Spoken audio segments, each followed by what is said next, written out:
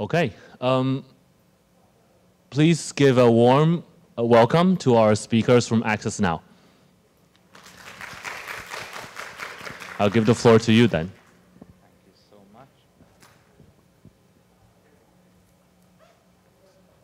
much. Testing, testing. Yeah, perfect. Hello, everyone. Thank you so much for having us. Uh, maybe before we kick off our you know, formal presentation, I just want to give you a sense of who we are. So we can do very, very brief introductions. Hello, my name is Raman, Ramanjeet Singh Chima. I'm Senior International Counsel and Asia Pacific Director for Policy and Advocacy at Access Now. I'm ordinarily based in New Delhi. Hi, everyone. I'm Namrata um, from the Asia Pacific team at Access Now, also from India. Very nice to be here. Hi, everyone. My name is Michael De Dora. I'm the U.S. Policy and Advocacy Manager for Access Now, and I'm based in New York. It's my first time in Asia, and uh, I'm having a great time and really happy to be here today. Thank you. I can uh, kick off and continue a bit. And it's uh, definitely not my first time in Taiwan, but I'm so grateful to be here. And in particular, to be here with the GovZero community. Because in many ways, the story of Access Now mirrors sto the story and experiences that so many of you have, but even the GovZero community has. We are an organization that is actually born from protests and an organization that recognizes you need to exist, you need to collaborate in order to be able to sometimes prevent you know, not just bad things from happening, but particularly sometimes in challenging a bad present. Uh, we're a comparatively young organization, just about uh, born in uh, 2009. Many of us have joined after that. Since the clicker is not working, I am going to stand and do that then.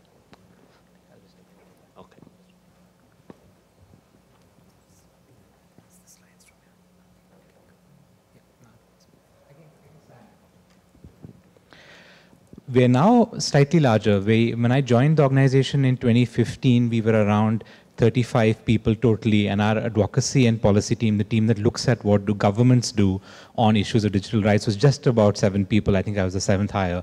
We're now 130 people. We're based in 14 locations across the world. And we don't put this out because we want to boast or note how much we've grown, but just to recognize the nature of how the problem has itself expanded. The internet and digital rights are no longer an outlier issue. It's not a specialist matter. It's a matter that impacts the everyday of every single person, not just in this room, but of our families, our communities, our networks. Our mission, and we really hold this dear, is to be able to defend and extend the digital rights of communities at risk and focusing particularly on also the human rights of individuals. We see ourselves as a human rights organization focusing on advancing digital rights in particular.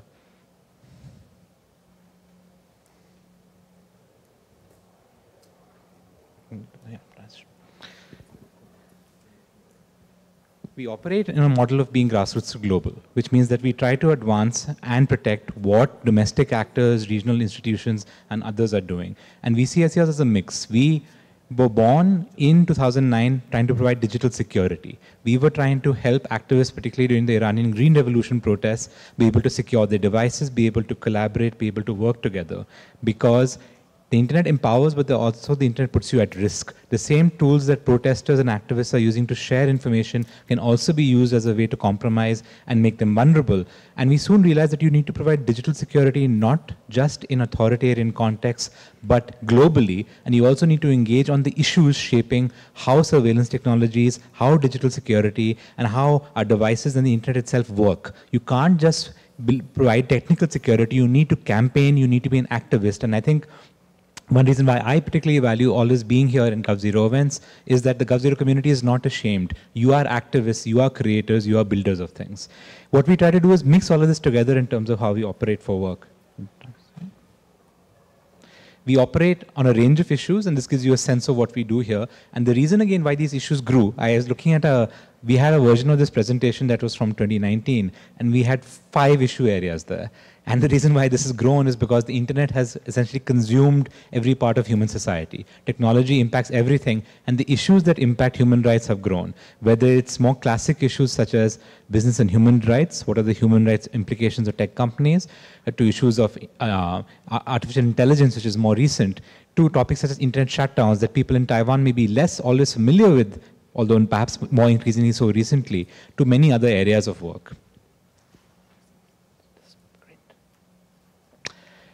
The, the core of Access Now, as I mentioned, is our digital security helpline. It works 24 by 7. Today, as we speak, there's, a, there's security incident handlers responding to requests from activists, civil society, journalists globally on very basic things from how can they set up an encrypted messaging platform? How can they use uh, secure uh, file hosting services to more complicated questions around, I work on X issue and organized crime is trying to hack my device, or I'm working on this sensitive topic. How do I secure this network of activists who are working across four and five countries? Our helpline does this for free working 24 by 7 and it doesn't do this by itself. It works with many other groups including and we're very uh, you know happy to also often collaborate with people from east asia and elsewhere in providing assistance in terms of reactive digital security proactive education and training on digital security as well as threat analysis and, and more sophisticated malware analysis our grants team tries to help grow the digital rights community globally. It's not just about us, it's not just about the partners we work with, it's about the next set of actors that are there. As someone mentioned in a previous session, it's not just about the people you may see on stage, it's the next set of people who will join the stage. We hope not to be here in a few years. We hope to see other faces here, and that's possible only if we and other organizations provide more funding, more support, particularly in the majority world, what people sometimes call the global south. The Keep It On campaign is something that's more we're more well known for, and you know we pivot and speak to. It, it speaks to how do internet shutdowns happen, and for that I'm going to hand over to my colleague Namrata, who will run you through this a bit more. Thank you, Raman. Can you hear me okay, everybody? Yes, thank you. Um, first of all, it's really exciting to be talking to this particular room about internet shutdowns because there are few other rooms that have such collective and comprehensive insight into the power of the internet and how it can be unleashed to protect the rights of the people. So this is really exciting for me, and I hope that it leads to more conversations between us and everybody here. So thanks for being here. On shutdown specifically, as Raman mentioned, Keep It On campaign, uh, which is run by Access Now, but is a coalition of several organizations globally, is one of the campaigns that we are likely most known for and definitely one of our greater priorities um, through this year as we go through so many elections. Now, internet shutdowns are defined differently by a lot of groups. Just to clarify, the way we look at it is any intentional disruption of the internet or any electronic communication service, which means that not just blanket internet outages, but also specific bans like the TikTok ban that we're seeing in so many countries, that is very much what we would consider as a shutdown.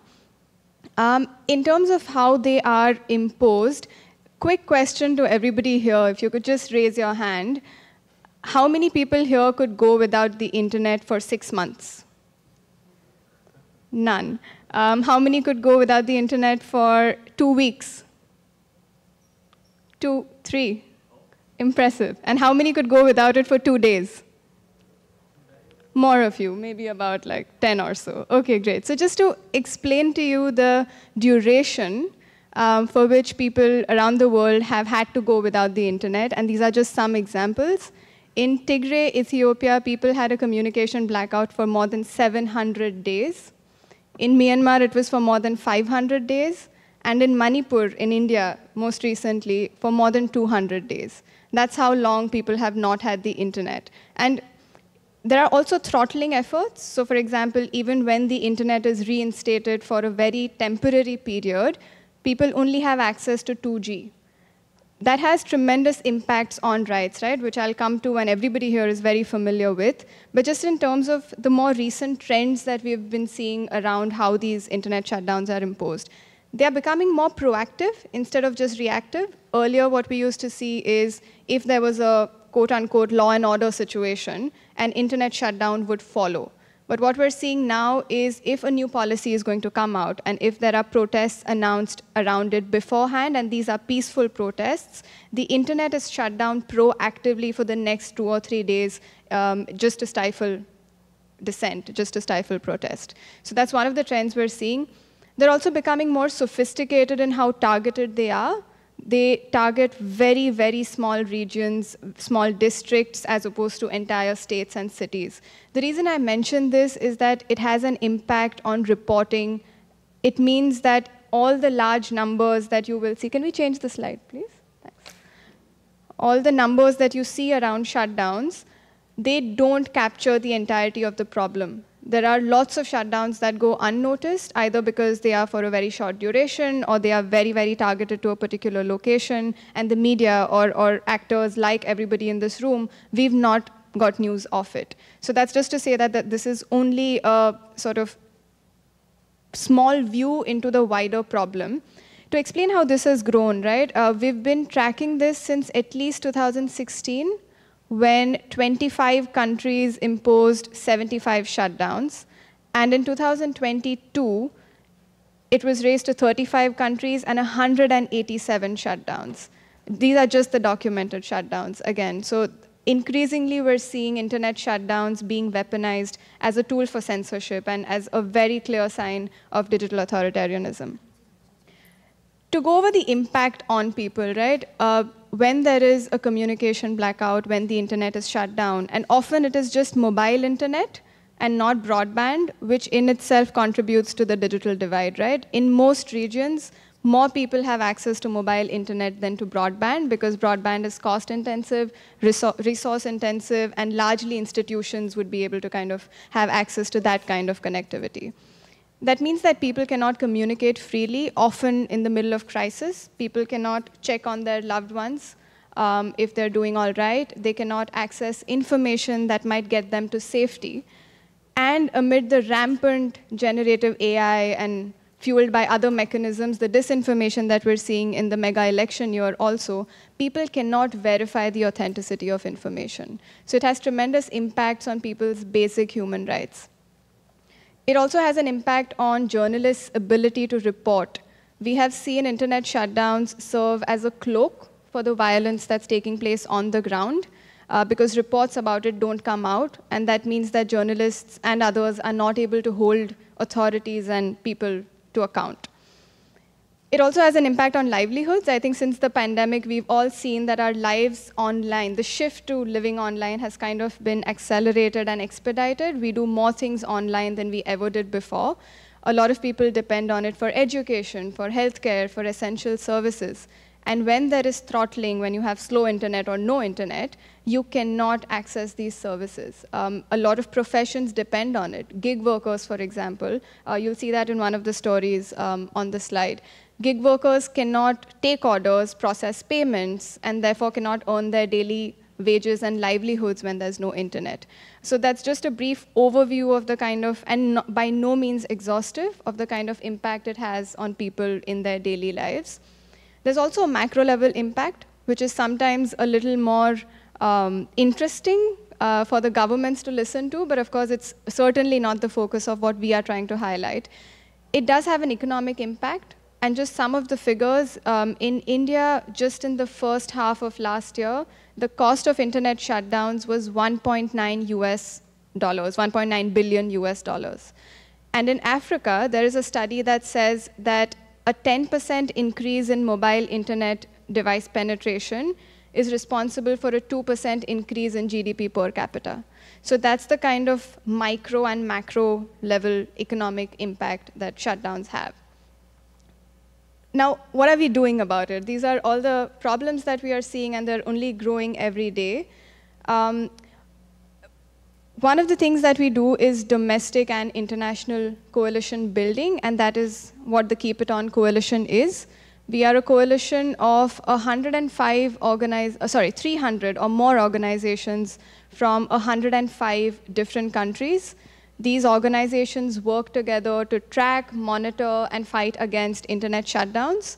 And they comprise of a variety of stakeholders. So it is digital rights organizations, human rights defenders, journalists, media, civic tech communities, uh, academics, and so on. So that coalition is growing and we hope will continue to grow. Um, happy to talk to anybody who's interested post um, this session.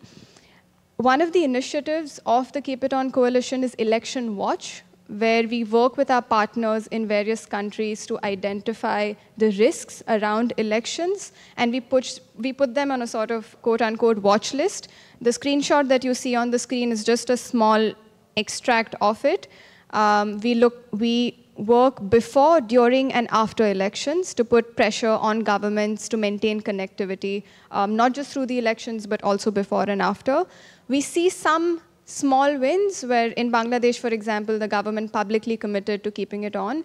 Uh, this was by no means a result of just our work. It was a collaborative effort with a lot of organizations around the world and especially in Bangladesh. Uh, but equally, there are governments where we don't see positive responses just yet and which remind us that we need to keep kind of uh, fueling this fight further and joining hands more. Examples are on the screen again. Um, perhaps, again, some, one of the most well-known products coming from Access Now is the Keep It On report which is an annual report that we publish around how we have, uh, around the various shutdowns that our partners and we have tracked around the globe. It has regional snapshots. It has the trends that we are seeing over the years. Um, we look at the orders that authorities have passed to impose these shutdowns, and then we look at what the reason they have stated is versus what we think the real reason was, just to give a sense of the political realities of a particular place, how governments are borrowing from each other in terms of using this as a sort of low-hanging fruit um, uh, that is really damaging to human rights. These are some of the advocacy, well, things in our toolkit. We spoke about the coalition building. Uh, legal challenges also play a big role.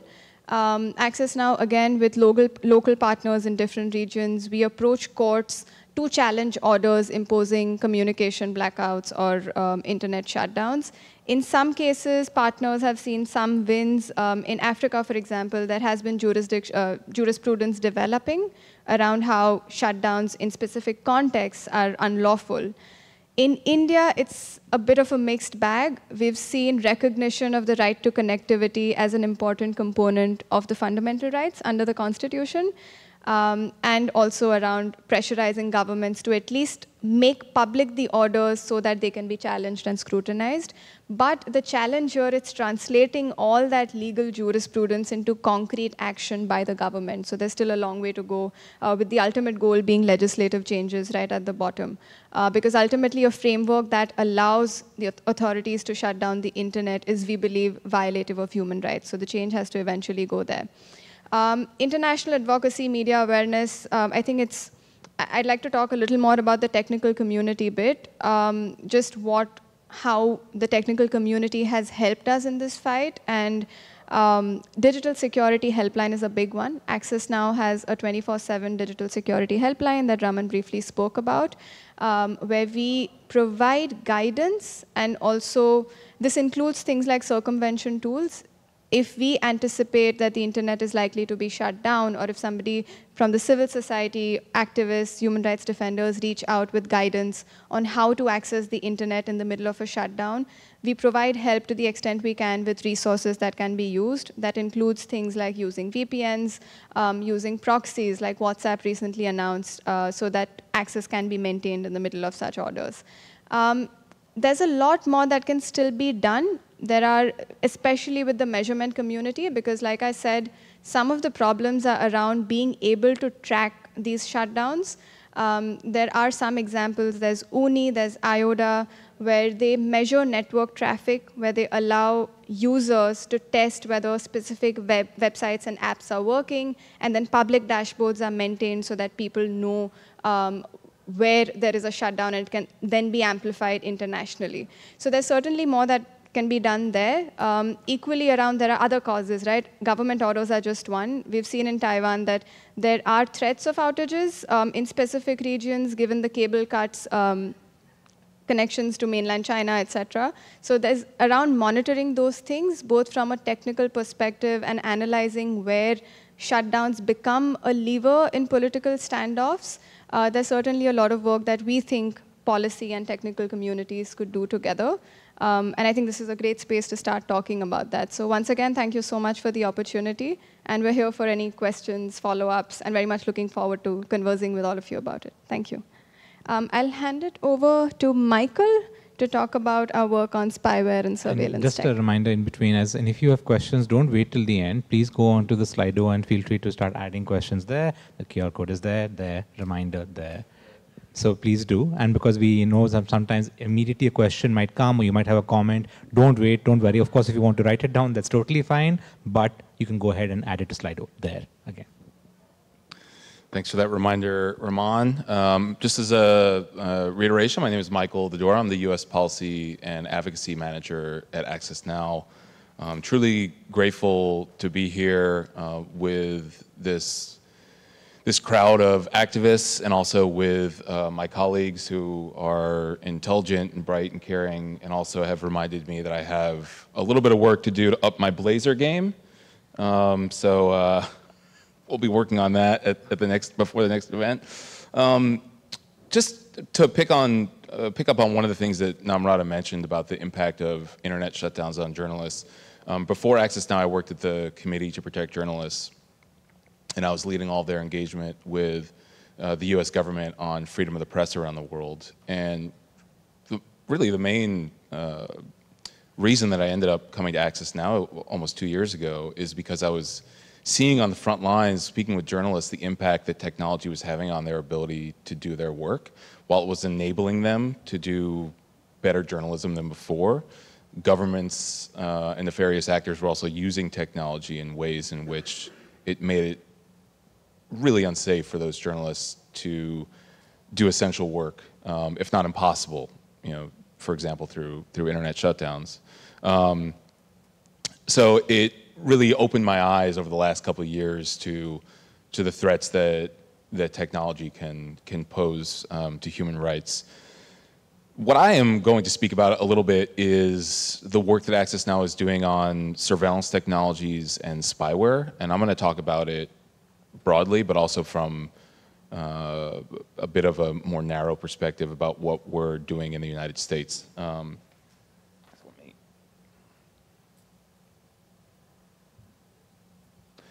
Okay.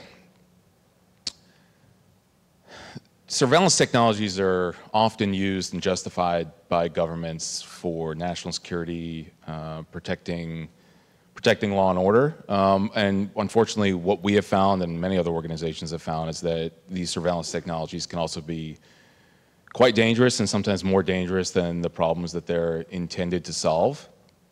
Um, Access Now has led for the last several years a coalition of organizations around the world that are seeking to ban biometric recognition technologies and other technologies that enable mass and discriminatory surveillance. And I think that's a, a really key piece of the terminology here is that when entities are engaged in mass surveillance, it is extraordinarily difficult for those surveillance systems to not be discriminatory.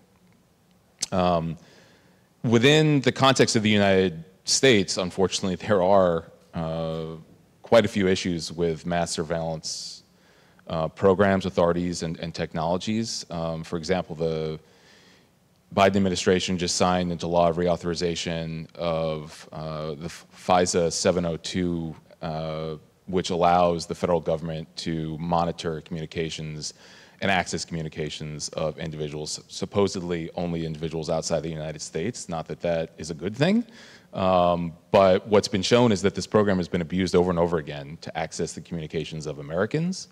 Um, and so Access Now has been on the front lines working with coalition partners to try to end that program. Um, but unfortunately, we're up against quite a wall when it comes to uh, US support for mass surveillance. And I'll, I'll, tell you a little bit why I find that so hypocritical, um, but it's worth, it's worth mentioning.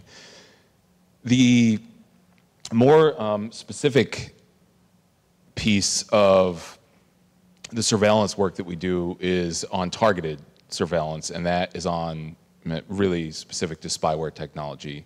Um, and what we've seen over the last couple of years is report after report by organizations that we work with, like Citizen Lab and Amnesty International, um, that have shown that human rights activists, lawyers, journalists, even uh, opposition politicians have been targeted with various forms of spyware technology, some of which are so advanced that you would have no idea that it's on your phone and the individual on the other side or the entity on the other side would actually have full access to your phone. So whatever context you have in there, whatever text messages you're sending, emails, um, some of the spyware technologies even allow the individuals or entities targeting you to activate your phone, your, your video and audio, um, so they could be real-time monitoring you without you having any idea that this is happening.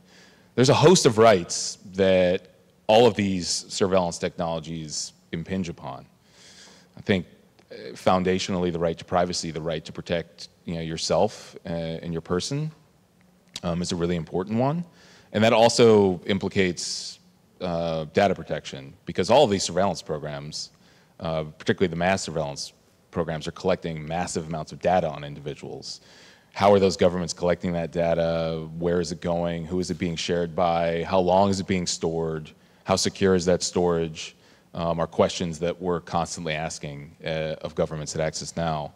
But there are plenty of other rights I think that are, that are implicated here. Um, certainly freedom of expression, your right to uh, express yourself, to, to engage uh, with the world, and relatedly freedom of association, your right to associate with individuals and organizations that you want to associate with, and to act that out publicly. Um, to think that in the space of doing that, that you could be surveilled or directly spied upon on your electronic devices, I think is truly a disturbing thing. And, and Namrata and, and Raman and others have already spoken to, I think, you know, the psychological and practical impact of that. So Access Now has been working on the wrongful use of surveillance and spyware technologies in a number of different ways, some of which have already been discussed. I really do think it's, it's critical to highlight the work of our 24-7 uh, digital security helpline. Um, that is really on the front line of helping individuals who think that they have any kind of spyware technology on their phone to get support from our helpline, um, to get individuals who can help them escalate their cases or do forensic research on their devices to understand what is actually going on.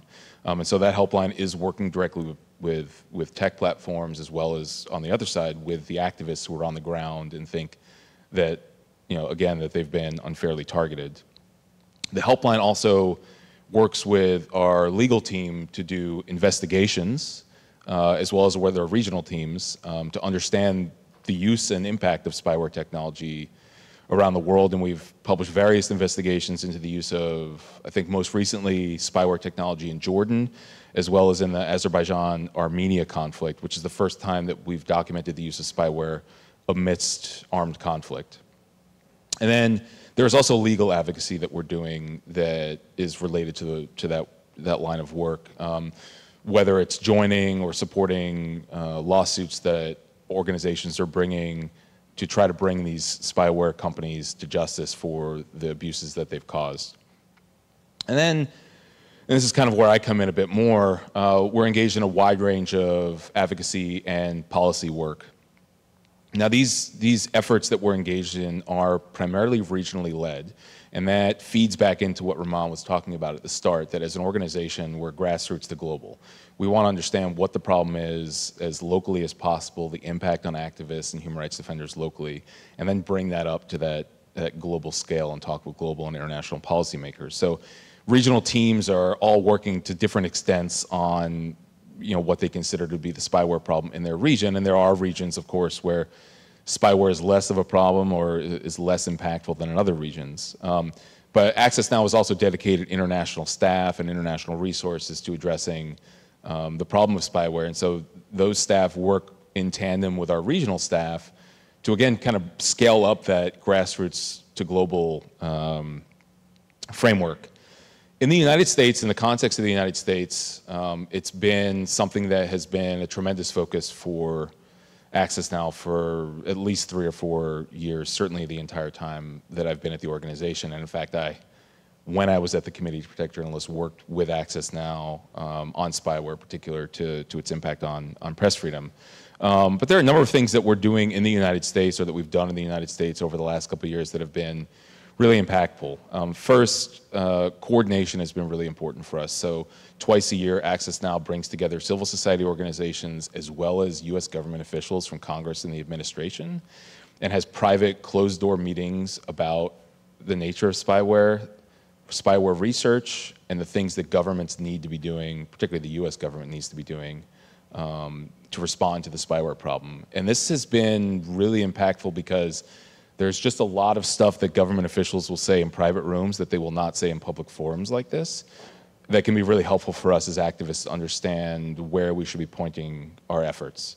Um, so this has been a really important thing for us. And I should also note that a lot of this spyware work has went on under the Trump administration, which unfortunately was an administration not particularly interested in tackling the use of spyware, spyware around the world. And so initially, a lot of the focus for Access Now was on US Congress, trying to use Congress as a body to ensure that spyware companies around the world that are, again, selling spyware in the free market to governments that are using it um, to, you know, to engage in human rights violations are being held accountable.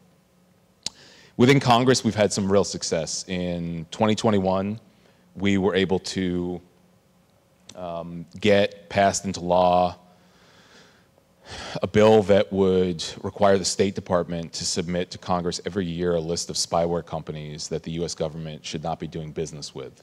Now, it's a classified list, um, but it has been submitted to Congress every year, and it does inform the work that Congress is doing.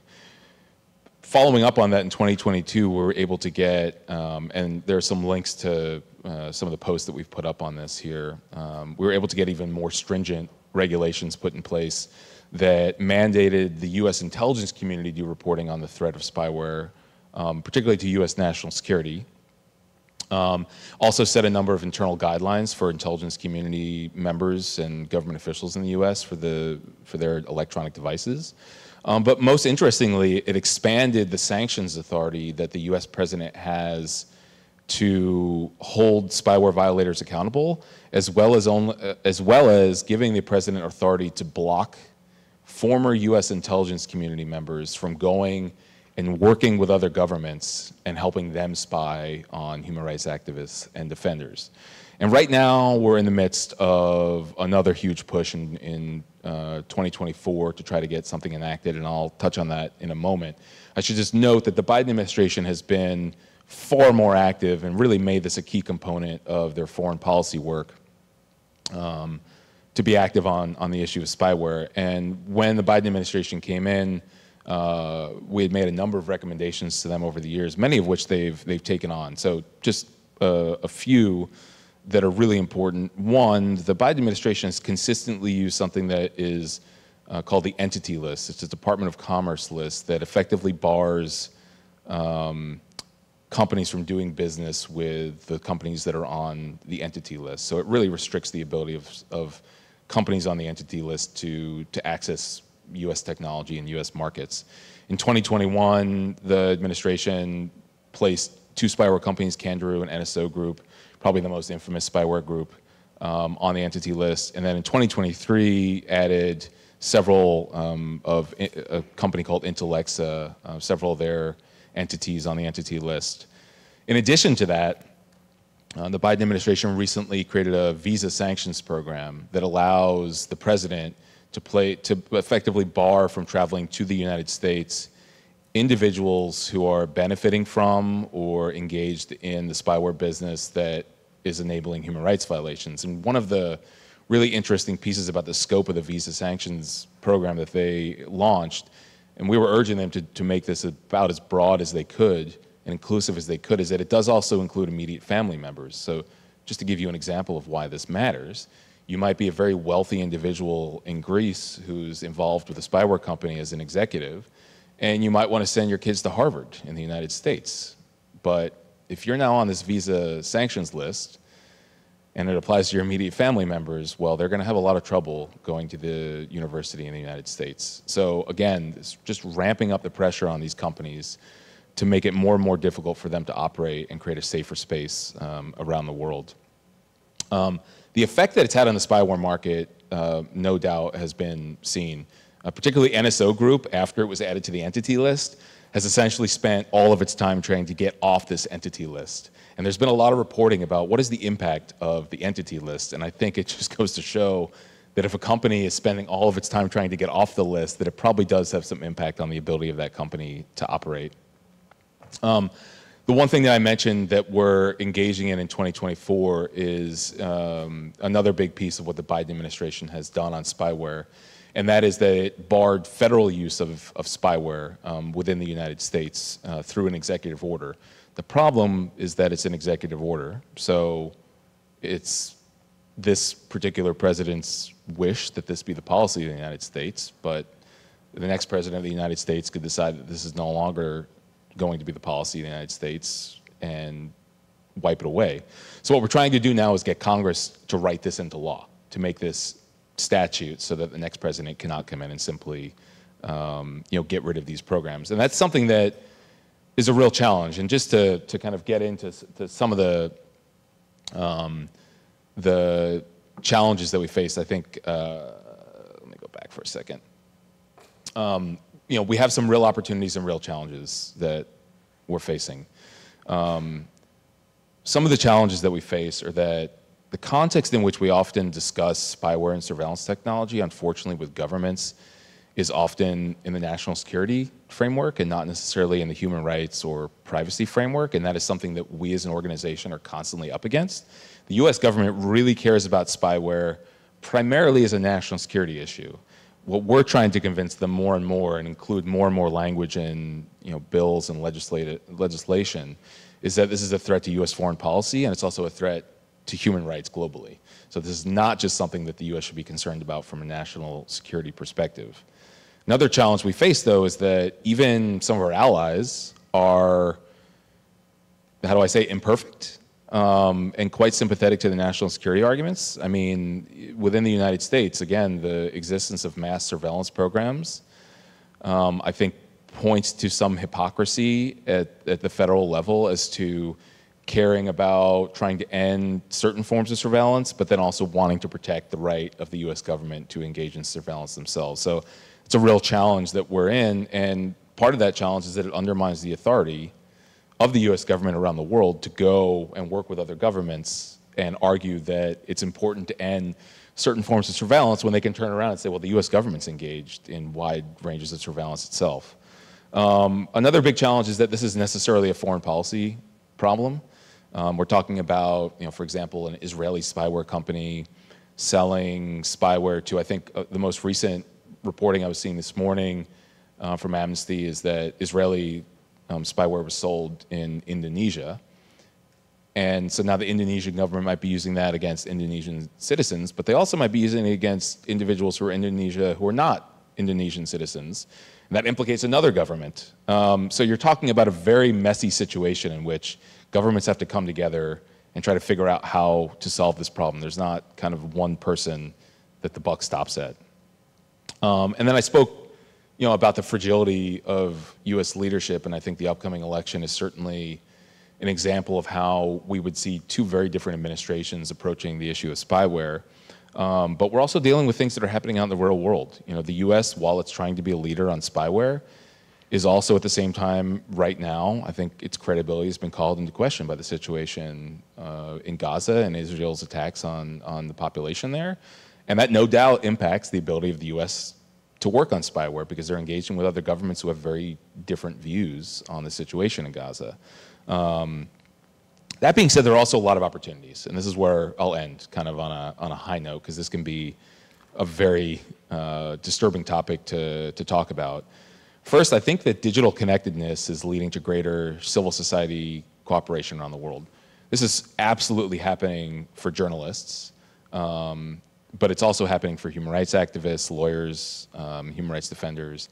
I've seen, and it's a bit more anecdotal than, than thorough research, but I've just seen increasingly my ability in the United States to be connected with spyware victims around the world, to bring their stories to, to the United States, to speak to US policymakers about them. I, it's much, much easier for me to do that now as an advocate in the United States as it was 10 years ago because of how technology has really changed. I mean, I can pipe a spyware victim into a room in Congress on Google Hangouts or Zoom eh, from somewhere halfway across the world, and that testimony can really change the way in which the U.S. government is approaching the spyware problem. So that's that's big. Additionally, there is increasing cooperation among governments, and the one thing to know here is, is that at the first Summit for Democracy was launched a, a joint statement on countering the proliferation and, and misuse of, of commercial spyware technology. And at the most recent Summit for Democracy in South Korea, a number of governments were added to that statement, and I think there are now about 15 governments um, on that statement, and that's something that the U.S. government and other governments are now trying to build out um, to, to basically build an, an allyship. And then the last thing I would note is that the issue is being understood, I think, more fully now by policymakers. I mean, first, I don't need to tell you that you could probably assume like most, the average age of members of Congress is fairly old. They don't understand technology that well. Um, and so we have to do a lot of explaining to them about what technology is. Well, we've kind of gotten over the hump a little bit, and they're getting to the point where they understand some of the policy responses. But we're now actually getting past just the what are some visa sanctions programs or economic things that we can do. The biggest piece of conversation that's happening right now in the U.S. government, and we are holding um, a private forum with the U.S. government in June on this with some partners, is how to tighten some of the pressure on the money flow. So how are these spyware companies getting all this money to operate? Who's investing in these spyware companies? Do these people even know how much money they have invested through various funds in spyware companies that are engaged in human rights violations? So we're now engaging with the investment community. We're engaging with other nonprofits that are engaging with the investment community, and we're engaging with U.S. policymakers to try to ratchet up the pressure on investors. And some of that is just pure education. Um, but all of this together, working with at Access Now, our business and human rights team, working with our other regional teams, there's a tremendous amount of pressure that we bring uh, on governments and on investors. And I think there's been a lot of change in the last couple of years. And hopefully, with some of these opportunities that uh, that we have, there will be even more change in the next couple of years. I know that Raman said hopefully in a couple of years we won't be here. There'll be new faces, but uh, I would actually love to come back here in a few years. So, if you want to invite me back, I'll come. Thank you. And I will do, again, a reminder because I know that is many people are very interested in spyware and specifically what do victims face, how does it work, how do the, some of these government responses work, how does the question of government hypocrisy and using their own so sovereign surveillance capabilities work with the action we are seeing against some of these very problematic private hack for hire firms. Slido, ask your questions, add them there, we will not forget. So just a reminder on that one. Um, I we want to connect you a little bit to, to a couple of related areas. And one reason, of course, why we also work on the issue of spyware and elsewhere is for us, it's been very core, and I know it's so core to many members of the GovZero community as well, is our sense of privacy when it comes to the digital age and particularly around protecting our data. Uh, I think from the very beginning, Access Now has been very clear. And in some ways, I say we, we perhaps distinguish ourselves from the very first internet freedom groups who started, who are very often focused on online free speech, although that's a gross oversimplification.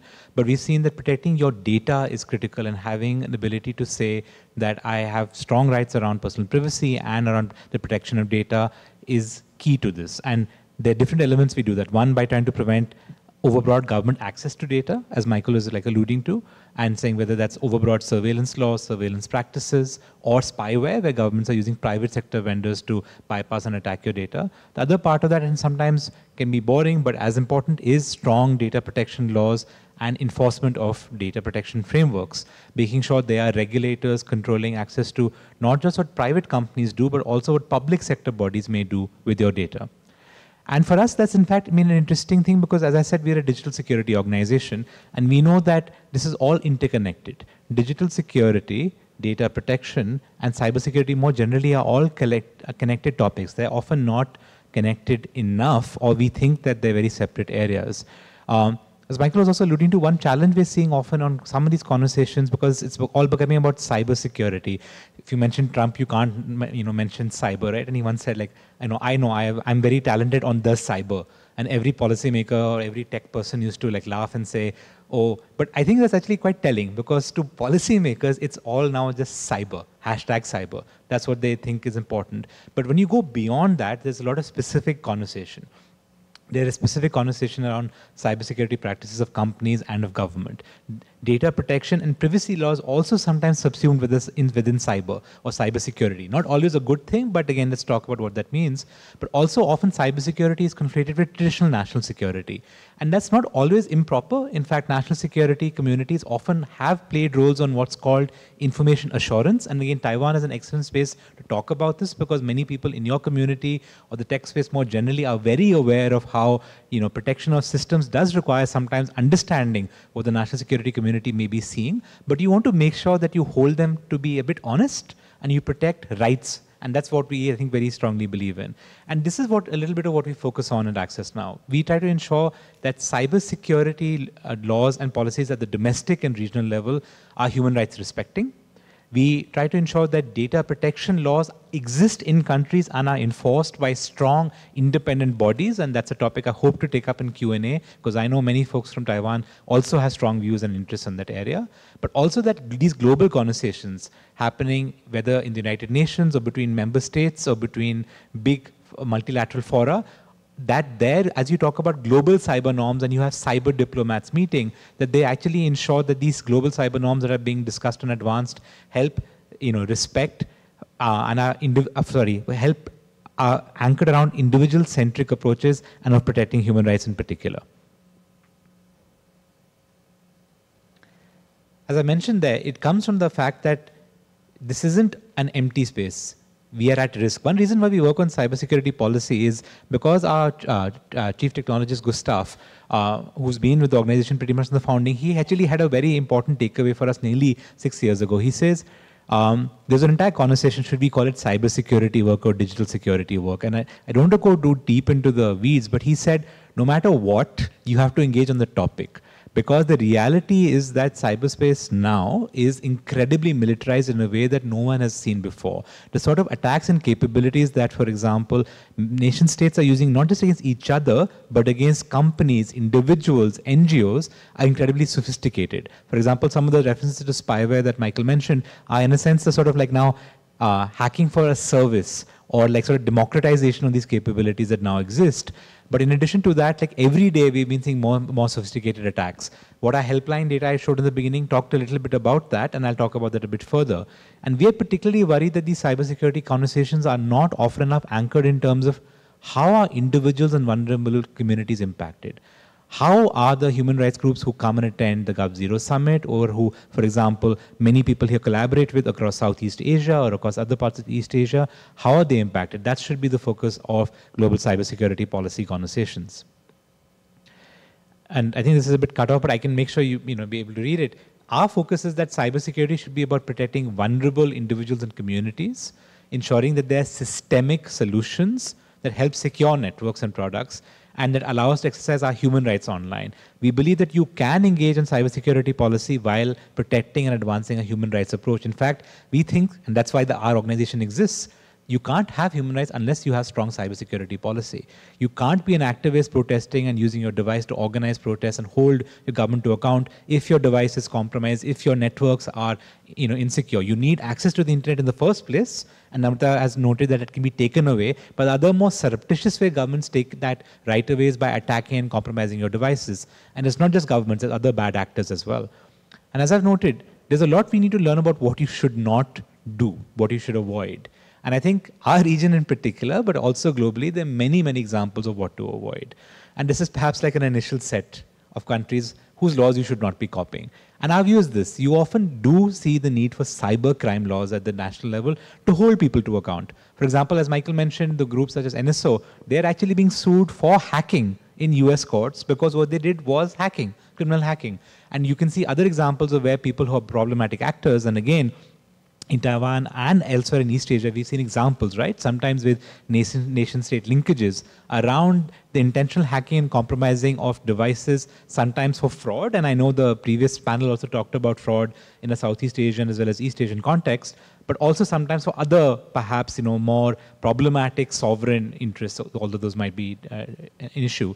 We're particularly concerned that in many countries of the world, including far too many in Asia, cybercrime laws are not about advancing cyber security or helping make you know, bad criminal actors be held to account. They're also cyber control laws. They are sometimes internet restriction laws. They are laws that actually give very overbroad powers to governments to define what might be an activity. So you might think compromising a device for mm, uh, purpose of stealing data or stealing someone's, say, financial resources is a crime, whereas the government might say, well, compromising the value of information is also a crime. And when a journalist gets to find out that my system is actually you know, not the most secure, that's compromising the information integrity of government systems.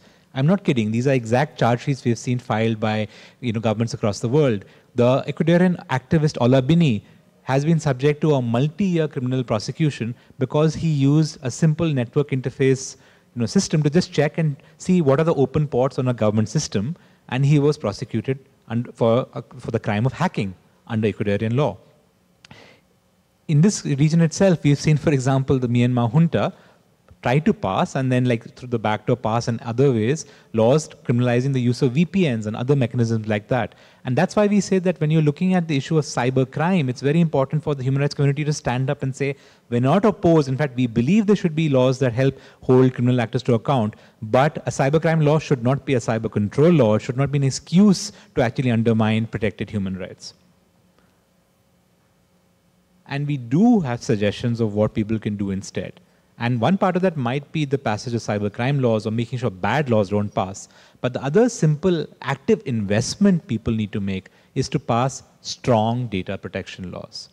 And we believe that it's very important for data protection laws to be anchored around the fact that privacy and data protection is a human right not, no system is perfect, but regulatory systems, you can have lessons learned. What you see on your screen a little bit, and we've adapted this in multiple contexts, from 2018 onwards, we have provided do's and don'ts around how to pass data protection legislation.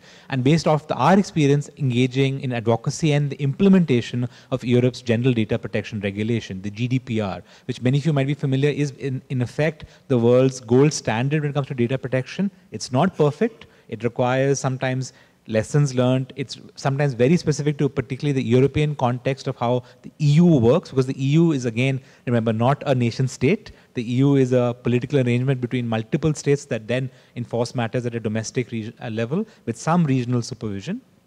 But we have these recommendations there. And across the world, whether it's a complicated democracy like India, whether it's another complicated democracy like the United States or elsewhere, we are trying to advocate for strong federal level data protection laws and even further instruments there. Parts of those are simple things, like when you create a data protection law, do you have an open conversation? Do you have an open stakeholder process in that? Do you draw everybody in? Do you ensure that data protection rights are sorry, that you provide individual data protection rights. It's not just about regulating data, it's about giving you a right of data portability. It's about giving you a right to access your data. It's about giving you a right to be able to seek the deletion of your data if it's out of date. Those are specific examples of what we want there, but also of having an independent data protection regulator. That when you create these rights, these rights should not ideally be administered by an agency in the executive branch because in many countries in the world, whether it's Taiwan, whether it's Indonesia, whether it's India, whether it's United States, who is one of the largest collectors of data? The government itself. The public sector collects the most data. In fact, fun fact, uh, the first true data protection law in the world was passed by France, and it was passed by France because France was digitizing government databases. And because there was concern around how that data could be misused, the French government decided to ensure that there's a data protection law that applied to the public sector as well as the private sector. And that's, for example, the case in Europe, but in many other parts of the world, that's not always the case. There are also very good examples of what not to do. For example, India has passed a data protection law that exempts the public sector in many ways. We see similar problematic approaches in this region. You've seen enforcement of data protection laws that tends to favor the government, like the Hong Kong Privacy Information Privacy Commissioner, that tends to never really fine or punish the Hong Kong government, but tends to have very strong views on how activists, political parties, and companies may use data. And those are examples of what not to do. And I did want to leave here this particular thing, you know, thing for you, and I hope this can be taken up for modern Q&A. Taiwan has a particular important role to play today in 2024, into 2025 and later, when it comes to global leadership and also, of course, regional leadership on cybersecurity, data protection, and a human rights approach. And what I mean by that in particular is you've seen the threats of cyber attacks and how those can work, how also government powers can be misused. You come from a history of knowing how overbroad executive powers can be misused by government agencies, how you must be held accountable to courts and other rule of law instruments. But also, you have passed new laws that require enforcement. And this is like a hint Please feel free to ask me about Taiwan's data protection law. I have views and about what must happen next, but that's for the Q&A later. I did want to end a little bit by talking about community and communities. And GovZero is all about community. And as we know, there are many interconnected communities, which is why this you know, summit is so powerful, why this community and the communities it connects to across Asia and the, and the world are so important. We hope we can play a small role in that ourselves. Some of you may know of RightsCon. In fact, often more people know of RightsCon than they may know of Access Now. That's been a fun fact that our communication teams keeps telling us every year. The data shows it very clearly. More people know of RightsCon than Access Now. That's great because RightsCon is a community event, so it's not just about us, it's about you. RightsCon started off as the Silicon Valley Human Rights and Technology Conference. The idea being to have the tech sector, particularly at that point of time, the US tech sector, but we've gone far more global than then, be exposed to the reality of human rights globally. Not just to say the civil rights or political rights communities in the US, which are very important, but to be exposed to the international human rights community and what are people facing, whether in Geneva, in the Human Rights Council, or on the front lines in Tunis, in Sri Lanka, in Cambodia, and elsewhere, to know what's going on there and to be able to hold them to account. That Silicon Valley Human Rights and Tech Conference has become much wider. It's become RightsCon, the annual Tech and Human Rights Summit. We rotate that across many regions in the world. This is when we held it in Tunis. Um, and we were very glad to bring it to Tunisia because that's also where, in many ways, our security helpline started some of its first international work. And uh, when I joined the organization, RightsCon was just happening in Asia. It was in Southeast Asia, in the Philippines. I think we had 900 to 1,100 people participate. The year after that, that grew to around 1,900, then 2,000, and then in Toronto, 3,200. In Tunisia, 3,600. The pandemic happened. Uh, lives were changed we thought there'll be drop off. We went to an online model, and online it jumped to 8,000 and then 9,000. And the last RightsCon, which is a hybrid event in Costa Rica, had 2,800 or so people in person. You can see the numbers there. Um, many more online to bring it to a grand total of around 9,000, 10,000 people participating. RightsCon is about digital rights in our age. It's about how digital has impacted every part of human rights, but it, that goes to not just classic issues like privacy, about cyber crime, cyber security. It goes towards the connection to the open data community. It goes to what are gig workers facing. It goes to the increasing issue of climate, human rights, and what sort of role do communities play. And why I'm mentioning all of this to you is we're very glad to bring RightsCon back to Asia.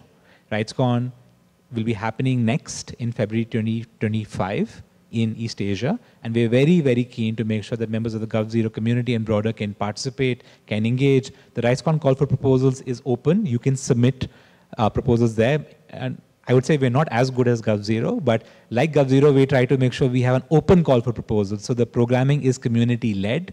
It's all about conversation. There are multiple parallel events happening. And why I really like it, besides the fact that we organizing it, is that it's lovely to sometimes see a meeting where you have a cyber ambassador and you have an activist who's literally been subjected to spyware attacks a few weeks ago, making sure to actually be there. You see tech sector companies looking a bit uncomfortable sometimes because they're getting asked hard questions being in the room there with journalists and others who want to hold them to account.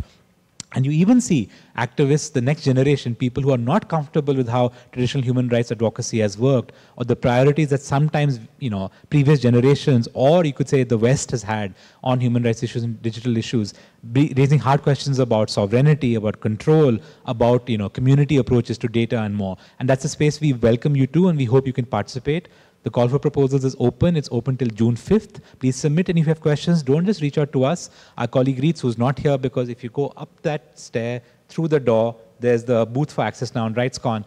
Uh, Reeds will be happy to help you with questions about RightsCon and its community. And I want to leave you with that. There's a lot to cover, and we've tried to cover a bit of that. We know this is an opening for conversation, and this is, in many ways, building on work that many of you and others are already doing. We welcome questions, and if we don't get to cover your question in this open Q&A right now, I just wanted to make sure you can contact us. Those are email IDs. I just wanted to again say thank you so much for patiently listening to us. We're so grateful. Thank you.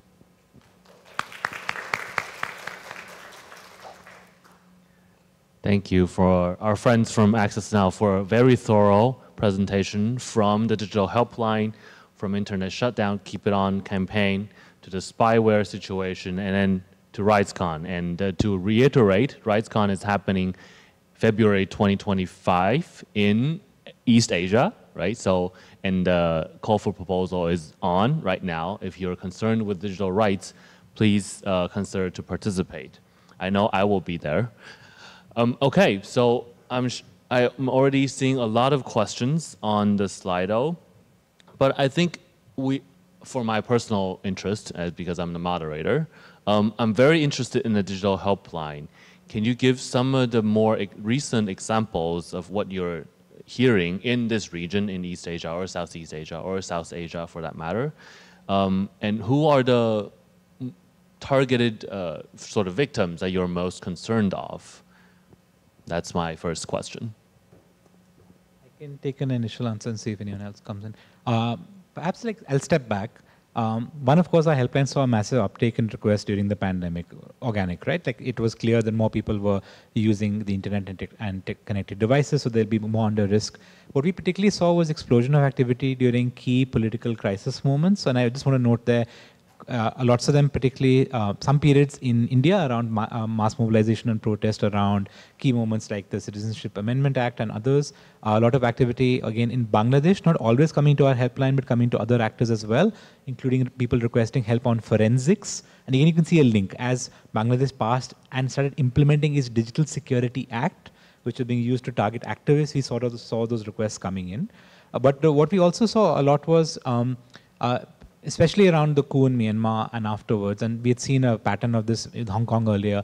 As the coup happened, a lot of requests coming in for activists who were trying to scrub their profiles online, be able to make sure that there wasn't presence available there, what uh, what is going on. People trying to redact their presence to not come under threat. We'd also seen similar activity in Afghanistan, which has been more underserved by the digital security community globally and was harder. But there in particular, uh, Michael's previous organization and our collaborator CPJ do great work. So that's an example of that. But I think what I'll pretty note on is we are seeing uh, we are seeing a lot of community interest in the issue of spyware for sure.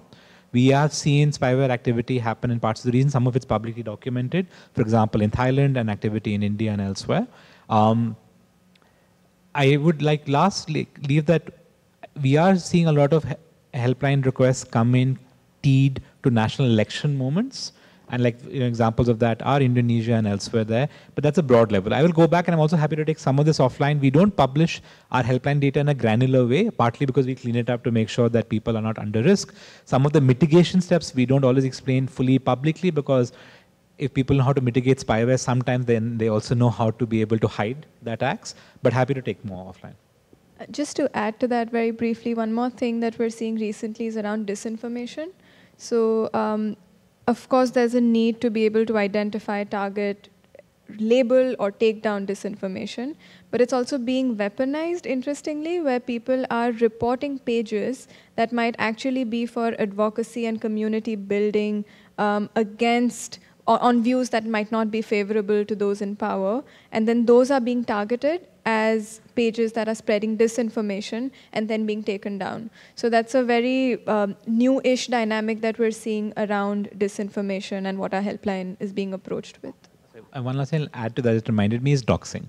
So what we've also seen in particular, uh, Myanmar is a great example of that with others as well, but is a lot of doxing activity targeting activists, often not necessarily digital rights activists, but traditional activists protesting, say, against the Myanmar junta, especially women or communities of sometimes color, LGBTQI individuals, who are then being targeted by often mainstream linked actors using, say, Telegram channels or even Facebook you know, groups elsewhere to try and dox them, find, you know, put out information about where they live, you know, what their personal life might be, trying to like generate attacks against them. That sort of like link between online activity and attempted physical retribution is something we're seeing for sure. Myanmar's example of that. There are other protest examples of that in the region as well.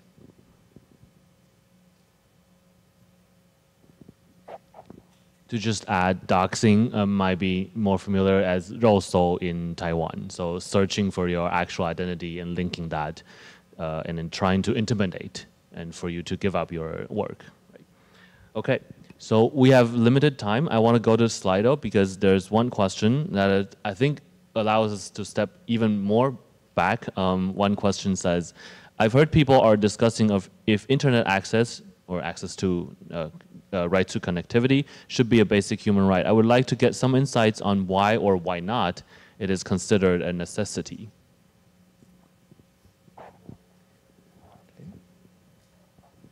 That's, that's a great question and something that um, we have discussed. Um, I think right now it's important to think of the internet or the right to connectivity as an enabler of basic human rights, rights that we already have. And there's a certain strategic advantage to that in that those rights are contained and enshrined within domestic constitutions, international human rights frameworks, including the Universal Declaration of Human Rights, uh, the International Covenant on Civil and Political Rights. And by that I mean rights like the freedom, right to freedom of information, right to assembly, right to information, right to privacy. So many of those rights. Um, it's right to connectivity is an essential component of all of these. So I think it is even um, strategically advantageous and accurate both to say that we already have this right. It's just about allowing us to exercise it without governments misusing the power um, they have over the infrastructure that um, enables us, us to stay connected, as opposed to framing it as a new right where we might have to, in many ways, start from scratch. And that again, the framing becomes a little tricky the moment we ask for a right that is tech specific, because the technology will evolve. So, what exactly we mean by the right to be connected to the internet or the right to connectivity, we will be rehashing the same debate over and over again. So, it might be better to kind of focus on the human and rights element of it and see where that fits in um, instead of trying to find a new one. But that's just our initial thinking around it, and I'm very happy to hear different views.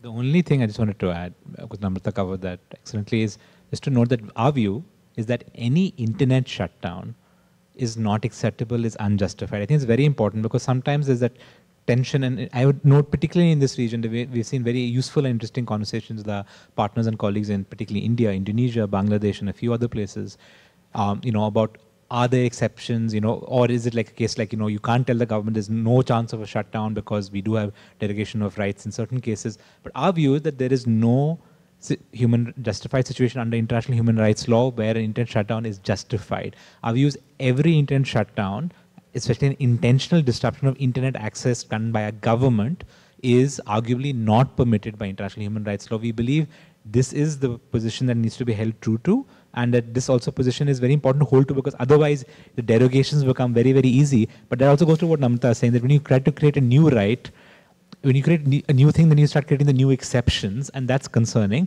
And there are many other uh, colleagues, including some in the room, who can speak to the fact that human rights law has already understood situations where you can exempt it. Like I always like how when a politician says, you know, even human rights have limits. I said, yeah, of course human rights have limits. They're all written down. Do you know those limits? Maybe not, but a judge does, and ask a judge that.